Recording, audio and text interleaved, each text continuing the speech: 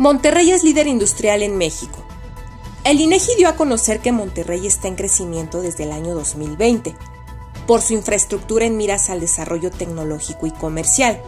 Incluso, Monterrey es una de las principales economías en el país, pues recientemente aportó el 7.5% del Producto Interno Bruto, siendo el segundo estado con mayor concentración de inversión extranjera. Soy Cintia López. Yo influyo.